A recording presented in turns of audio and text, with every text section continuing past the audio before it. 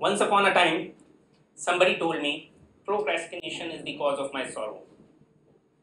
I don't know what the big word means. I will look it up tomorrow. Good morning.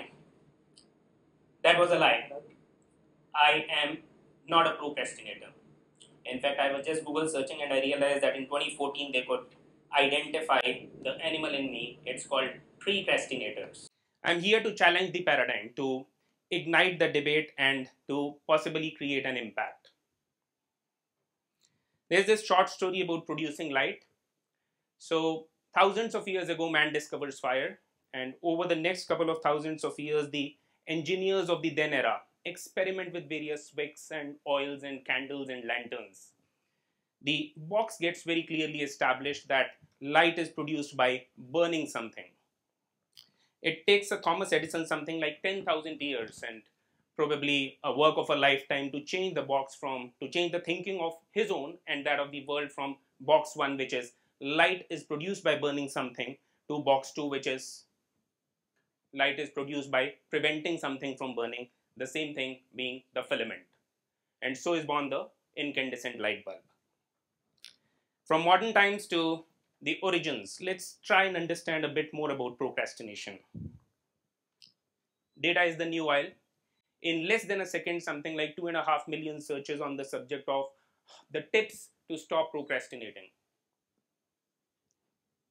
So, so, so strong is the bias that a search on how to procrastinate leads to only and only the promptings which are in the zone of stopping the menace. Surveys around the world, 95% of humans report themselves to be procrastinators.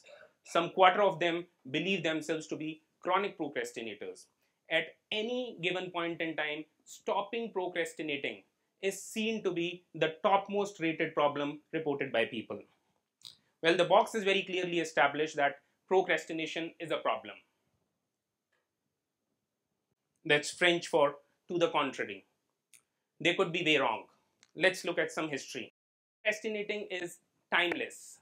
Socrates, Aristotle, they treated it very highly. They came out, they coined a term called akrasia to describe it.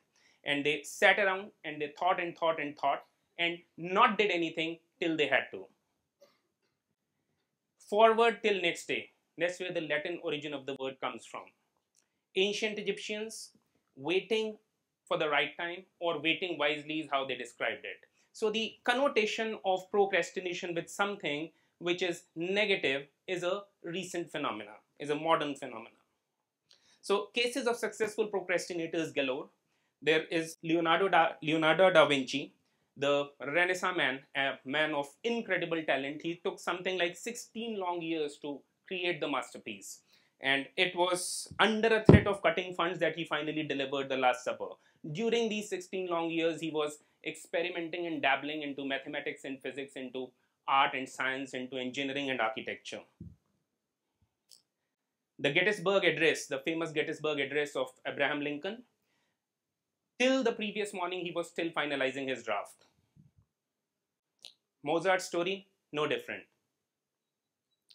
Thomas Edison would sleep with two steel balls in his hands to make the most of this state between wakefulness and deep sleep, what in ancient Indian yogic science is known as uh. Not in his draft the famous four words as he walked up to the podium, Martin Luther King. So Dalai Lama, Mark Twain, Sweet Steve Jobs, all of them were putting things off, noodling on things, right, and letting more divergent ideas come through. So let's look at let's look at a bit of science now. So you can thank biology for your procrastination. It's a showdown between logic and emotion, between the should path versus the want path, and between the emergency versus the autopilot mode. Humans are time inconsistent. So say the psychologists. The silly human brain values immediacy over long-term rewards. The economists call it hyperbolic discounting.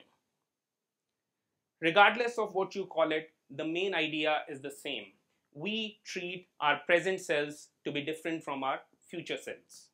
Time for some mind games, introducing the first of the two battles of the day. So we have these two beasts in our head, the future self and the present self. The future self is concerned about the long-term goals and the present self looks for instant gratification. The future self sets the goals, the present self is the one that takes action. So judgment time, you, the present self, is the one who's making a choice for the future self. Turns out the future self is a stranger. Yeah, you heard me right. The future self is a stranger. The brain regions involved in processing information about the future self are the same as that for a stranger. So such statements like, I don't feel like it, I don't want to, are all reflective of this phenomena. The future self wants to be trim and fit, the present self wants a pizza. An iPhone today, not the savings for retirement years later. So turns out the present self, the experiencing self, the living self is often at odds with the future self, the remembering self. In his groundbreaking research on how human minds make decisions, Nobel laureate Daniel Kahneman, he divided our brains into two systems, system 1 and system 2. Instantly reading her aggressive mood or detecting one object to be more distant than the other or orienting to a sudden sound or completing the phrase bread and butter or experiencing disgust when shown a horrible picture and this are all examples of system 1 which is absolutely instantly fast. Now how about this?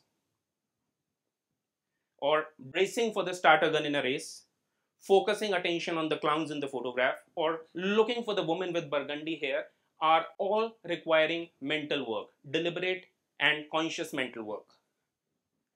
The rational is who we think we are, and although system 2 believes itself to be where the action is, the system 1, the intuitive self, is really the hero. So when we talk of artificial intelligence, artificial intelligence is going to be challenging the system 2, which is where algorithmically they will be able to do it better than humans. But system 1, the intuitive self, is the one that is really going to be the hero.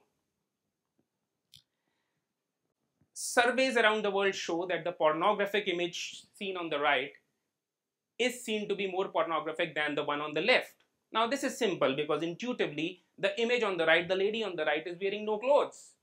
But counterintuitively less skin is exposed on the image on the right. Counterintuitively is rationally, logically. So logic is perhaps overrated sometimes meritocracy may then be is a myth. So we have these two beasts in our head, the rational one and the unrational one, the reasonable one and the unreasonable one. The reasonable one adjusts to the circumstances that he's put in. The unreasonable one changes the circumstances to suit his requirements. Therefore, progress is only possible through the unreasonable one.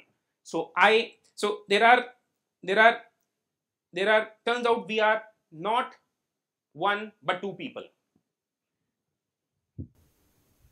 So I want you to wake up to choose to back the unreasonable Steve Jobs in you, to back the unreasonable Buddha in you, to back the unreasonable Mahatma Gandhi in you. Yes, this little unreasonable guy in our head, he has the power of infinity. Procrastination, it is not failing. It's a signal that your priorities are askew a sign that a greater intelligence, a superior power is trying to nudge you in an absolutely new direction. Turns out human minds are wired for closure. We need not worry too much about putting things off. Closure craving is a proven psychological state. So the problem sits somewhere in the subconscious of our head, and that's why you had the Archimedes uh, Eureka moment. Procrastinators very rarely do nothing. While you're procrastinating, your subconscious is working. This is how ideas germinate and generate. So procrastination is not laziness. Laziness is the unwillingness to act. Cognitive disengagement, sleeping on things, reflection, these are all procrastinators' secret weapons. Battle number two, defined by technology and the deluge of information, introducing the exciting times that we live in as a dynamic. I know it's becoming interesting now. So in a world dictated increasingly by the, by the economics of attention, procrastination derails everyone. So we have a third monster now, the greatest procrastinating machine that rules our lives. Yes, the one that sits in our pockets. And then there is time, the time which is natural, which is unidirectional. It's a very simple thing. The physical aspect of time is all in the natural zone. Importantly, measurement of time, keeping time is something which is man-made. Research now shows that procrastination may not have anything to do with time management. In fact, trying to tell a procrastinator to just do it is akin to telling a, a, a clinically depressed person to just cheer up. So we have these two battles inside our head. One of them is, of course, driven by the two beasts, which is the reasonable one and the unreasonable one. And you have two other battles outside of us, which is driven by this technology here and the need for keeping time. But what we are also blessed with is this energy inside of us, the physical, the mental, and the spiritual. Boom! If you get all of these together, you have magic happening. So when it comes to getting things done, time and technology are outside of us. What is inside of us is this energy, the physical, the mental, and the spiritual, and the only weapon of influence is this energy. Let's talk a bit about the nature of life. 4 minutes 33 seconds of pure silence as a masterpiece in 1952. Incomprehensible in the Western context is how American experimental composer John Cage described his creation as. This was in turn inspired by Rauschenberg's 1951 series of white paintings. These were seemingly blank canvases, even as they used house paint to actually draw it. All visual artists know that the white spaces are as important as the drawing, just as in music, pauses are as important as the sound. And yet, in the business of life, we rush to fill in any empty spaces available with noise. In fact, I would argue that some of the most engaging ideas have something purposefully missing. Limiting information engages the imagination. Comic illustrators know it too well. They know that the real magic, the real play is happening in the white space between the illustrated panels out there. The story is left for interpretation out here. This is where the reader is drawn in, this is where the reader is engaged. The best of chefs will attribute the secret of the finest taste to the value of slow cooking. So, this powerful ability of the human mind to create meaning from missing information, all innovators, all visual artists now know what the neuroscientists know. More is less. Last section. Procrastination corresponds to self-awareness. The best way to master it, meditation. Science shows that alternating between awareness and breathing leads to switching seamlessly between system 1 and system 2. So, when isn't procrastination procrastination? When it is part of the process. The truth is I noodle, then I noodle, and I noodle some more. So, your body goes on autopilot, your brain gets busy forming neural connections between ideas and problems, and they call it procrastinating, I call it thinking. Procrastination puts the individual at the center of things. What is best for the world may not be the best for me. Perhaps your procrastination will help you escape a wrong major, a wrong life, a wrong investment. Procrastination is an empowering force. Stop beating yourself up. Gain more freedom. Break free love yourself unconditionally. Don't die with the music still in you Procrastinate now. Don't put it off. Procrastination lets you put life first. I urge you to unleash the beast, the monk, the balanced energy in you, one step at a time. Yes, you can. Expand your comfort zone, your zone of genius, your hero range.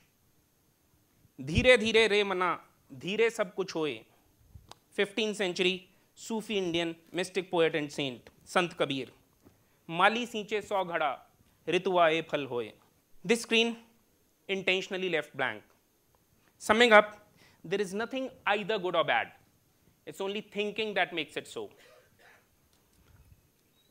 the modern worldview procrastination is bad the ancient one no it is not there are umpteen number of success cases all around there is a battle for domination inside of us between the reasonable and the unreasonable beast. There is a battle for, for uh, attention outside of us driven by the technology and the time.